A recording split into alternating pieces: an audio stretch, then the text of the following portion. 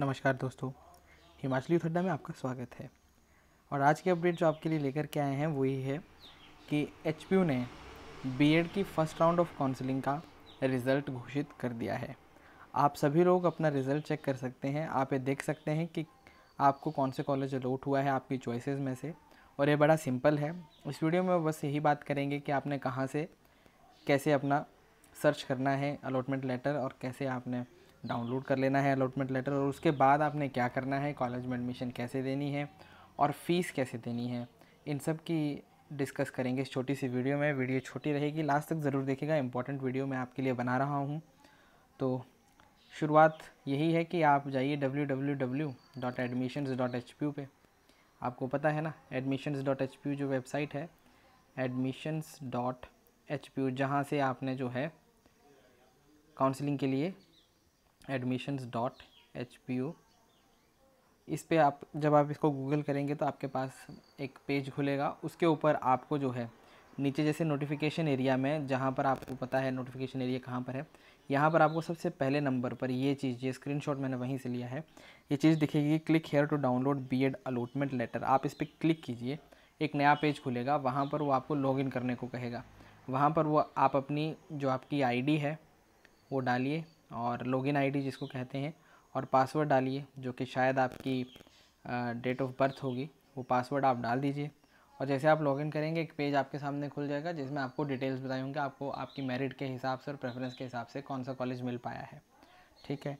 आपको वो कॉलेज मिल पाया है, वो आपको बता देंगे। अब आपने क्या करना है उसके बाद? कॉलेज का तो आपको पता लग गया। आप उस लेटर का प्रिंट आउट निकालिए, और जो भी कॉलेज आपको मिला है, अब आप आने वाले चार, तीन, चार दिन में जो है, उस कॉलेज को चले जाइए। या फिर लेटर में आपको डिटेल्स मिलेंगी। अभी तक मैंने कोई कॉल लेटर डाउनलोड नहीं किया है तो मुझे पता नहीं है कि अलॉटमेंट लेटर कैसा दिख रहा है, उसमें इंस्ट्रक्शंस दी हैं क्या नहीं। अगर आप में से किसी को अलॉटमेंट लेटर मिल जाता है तो प्लीज़ मुझे कमेंट्स में बताइए कि आपका अलॉटमेंट लेटर किस तरह का है, उसमें क्या इंस्ट्रक्शंस आपको दी हैं, कब आपको एडमिशन के लिए बुलाया गया है और क्या प्रोसीजर बोला है एडमिशन का। क्योंकि डेट्स थोड़ी चेंज होंगी। पहले बारह को शेड्यूल था ये तो बारह के बजाय अब उन्नीस को कहा तो बारह को शेड्यूल था तो उन्होंने कहा था कि सतारह तक तेरह से सतारह तक आप एडमिशन कॉलेज में जा कर के लीजिए। डेट्स का मुझे कंफर्म नहीं है, आप कंफर्म करा दीजिए, क्योंकि मेरे पास कोई लॉगिन आईडी नहीं है किसी की।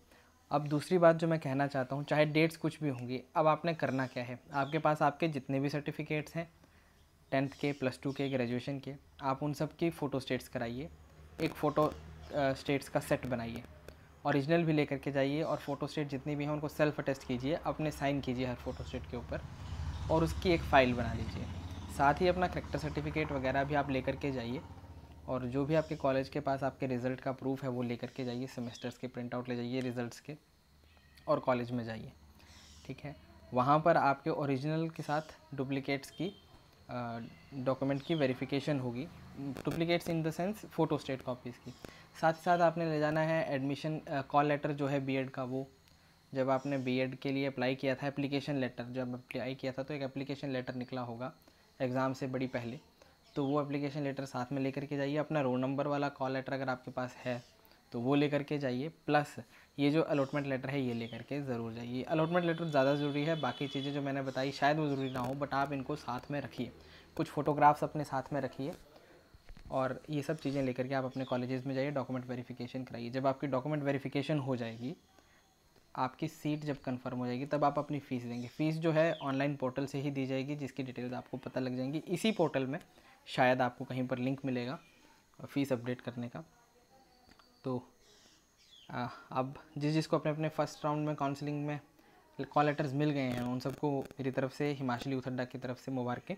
और जिनको फ़र्स्ट राउंड ऑफ़ काउंसलिंग में अपना कॉलेज नहीं मिल सका है, कोई बात नहीं, आप सेकेंड राउंड ऑफ़ काउंसलिंग के लिए अप्लाई कीजिए और अपने कॉलेजेस दीजिए चॉइस के लिए। और कुछ दिन में वो पोर्टल खुल जाएगा, तीन चार दिन में। इसकी कोई अपडेट अगर यूनिवर्सिटी की तरफ़ से आती है, कोई नोटिस आता है तो मैं आपको ज़रूर बताऊँगा। अगर आपने अब तक मेरे इस चैनल को सब्सक्राइब नहीं किया है तो प्लीज़ सब्सक्राइब कर लीजिए, क्योंकि छोटी छोटी मगर इंपॉर्टेंट अपडेट्स मैं अपने इस चैनल के माध्यम से आपको देता रहता हूँ। तो उम्मीद है आपको आज की इन्फॉर्मेशन अच्छी लगी होगी। तो प्लीज़ अगर आपने अब तक इस चैनल को सब्सक्राइब नहीं किया तो सब्सक्राइब कर लीजिए। And all the best for all I wish best of luck to everybody thank you for watching.